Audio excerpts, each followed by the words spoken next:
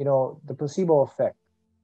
That that 100% proves scientifically, and I mean, they still can't even figure out what the placebo effect is. They're still trying to figure. All they know is the body heals itself because what it believes. So you have to start to believe, and then you have to start to visualize and see. Then you have to start to talk. You know, talk health to yourself. Like, man, why am I so healthy? Why did my my body feel normal? Why is my cell so healthy and strong? And you do that repetitively over and over. You can actually heal yourself.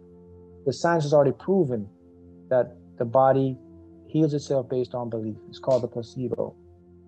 Yeah, there's also what is that called? Like nocebo, where um, is it nocebo, nocebo, where people actually manifest uh, like cancer and stuff.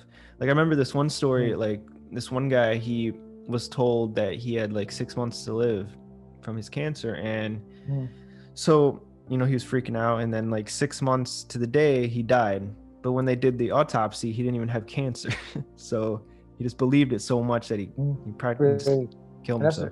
And that's the unfortunate thing, guys, because remember, it, this is all your subconscious. Now, it goes back to what I was saying, right? See how illogical your subconscious mind is? So it always believes what you put in the most. So my rule of thumb is I always practice, I just always practice just believe and focus on what I want. Yeah. Uh, any, anything else is opposite, is interfering with this, is distraction. So if, if it's not moving me or leading me towards what I want, I don't want it. I don't think about it.